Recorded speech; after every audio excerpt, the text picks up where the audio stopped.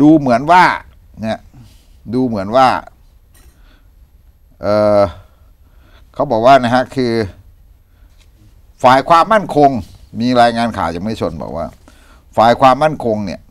ขอให้สภาแบบงดประชุมกรรมาธิการที่เกี่ยวข้องกับการเมือง อืมอืมคืออันเนี้ย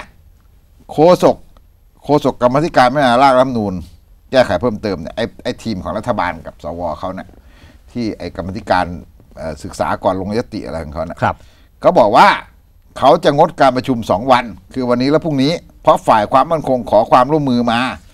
ให้ฝ่ายนิติบัญญัติงดการประชุมกรรมาธิการที่เกี่ยวข้องกับการเมืองไปก่อน มันเข้าข่ายชุมนุมเกินห้าคนปะแล้วมันเกี่ยวอะไรกับสถานการณ์ฉุกเฉินเหรอฮะเออ มันห้ามชุมนุมทางการเมืองเกินห้าคน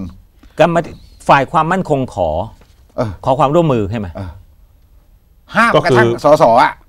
ขอความร่วมมือ ขอความร่วมมือสสยอดห้ามเองอ่าห้ามกระทั่งสสอะสสก็เขาประชุมไม่ได้นะ ตอนนี้กรรมาธิการเนี่ยมันเกินห้าคน เขาจำเป็นต้องใช้สถานที่ให้ตำรวจทหารพักพิงหรือเปล่า ไม่รู้อะแต่ตรงนั้นมันก็ข้าตรงข้ามมพันสี่นี่ คุณรังสิมันต์โรมแล้วทำบไมอกไม่ว่าไปพักในพอพันสี่ล่ะคุณรังสิมันต์โรมบอกว่ามีตั้งร้อยกว่าร้อยคน เข้าไปควบคุมพื้นที่ใช่ไหมที่น่ะเอ่อโพสต์เอ๊ะภาพให้ดูบอกว่าอ้างว่ามาเฝ้าระวังป้องกันรัฐสภาทั้งที่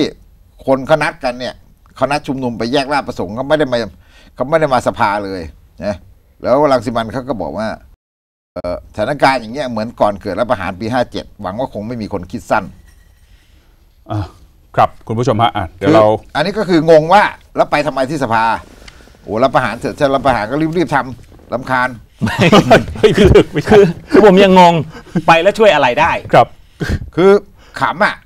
อันนี้มีอีกสถานทูตสหรัฐอ่า ท่าทีแล้วฮะ ไม่ใช่สถานทูตอเมริกาเขามีกำหนดเสวนาเรื่องเลือกตั้งสหสหรัฐสำหรับสื่อมวลชนครับในเวลา 8.30 น สั่งงดด้วยเหรอถึฮะงเที่ยงของวันนี้ต้องประกาศยกเลิกอ่าเพราะว่ารัฐบาลประกาศสถานการณ์ฉุกเฉินอ่าโอเคเอ่อเนื่องจากห้ามห้ามการชุมนุมเกิน 5 คนครับเอ่อครับผู้เข้าร่วมเสวนาก็เลยต้องแยกย้ายกันกลับผมอืมแต่ผมไม่แน่ใจว่ามันอยู่ที่สถานทูตป่ะนะ เข้าใจว่ามันอยู่ มันอยู่ตามโรงแรมหรือเปล่า มันเขาคงไม่ไปจัดสถานทูตอะครับครับส่วนส่วนที่ราชประสงค์วันนี้เดี๋ยวให้ข่าวนิดนึงก็ทางตำรวจเขาก็ขอความร่วมมือมานะครับว่าเอ่อถ้าเกิดว่าจะไปเนี่ยให้มีความจำเป็นจริง ๆ ที่ไปบริเวณตรงนั้นนะฮะเอาละฮะใช่นี่คือทางตำรวจเขาก็เขาบอกว่าสื่สรมเขาบอกว่าเขาปิดสกายวอล์กแล้วอืมไม่รู้จะปิดรถไฟฟ้าเปล่าอืมแต่เขาบอกว่า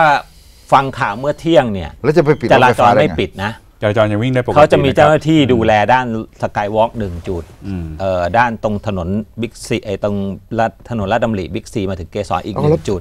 กองบักำงเอิลัญงน่ะตรงสตชอีกหนึ่งจุด ผมจะไปต่ออ๋อรตั้งแต่ถเมย์พารากอนตรงนั้นอะมาทำไมอะบอกว่าไม่จำเป็นไม่ให้ไป วันนี้ผมมีมีไปดูเซนทรัลเวิลด์ด้วยอะเออ ไปดูหนังใช่ไหมผมจะไปดู Apple นะฮะ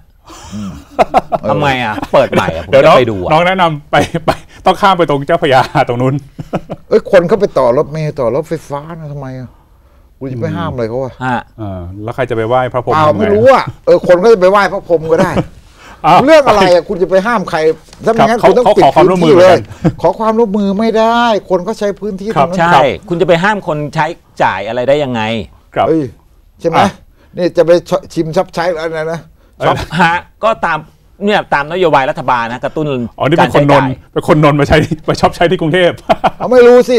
เออคนนนท์จะไปเปิดเอโรงอแรมอาจจะไม่ได้แปลว่าผมติดงาน แต่ผมบอกว่า ถ้าคนอื่นเขาไปเนี่ยครับมันจะทำไมเล่าอ่าเออ